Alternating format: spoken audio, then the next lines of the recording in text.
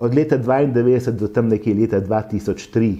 je Slovenija in tudi mediji smo pred sabo imeli nekega zajca, ki smo ga lomili, lovili, leta 2004 pa se je marsikaj spremenilo, postali smo člani Evropske unije, NATO, postali smo razvitejša država, tudi kasneje smo sprejeli evro, postali smo del šengenskega prostora in v tem času, ko je prišla Slovenija do neke, do neke stopnje tranzicije, kot da smo tega zajca izgubili in smo nekako izgubili željo za napredkom, šli smo nazaj, vendar me zelo veseli, da je letos 2017, da je ta zajec spet tukaj. Zajec je to, da končno dosežemo v Sloveniji neko večjo normalnost. Ali je tukaj že konsens, o tem še ne bi upal govoriti. Do leta 2002-2003 je ta konsens bil, potem pa se je ta konsens izgubil, ali je zdaj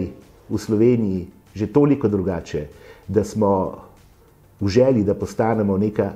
nek otok normalnosti, ali je ta konsens že dovolj velik, o tem še ne bi govoril, sem dejstvo je, da je zdaj boljše.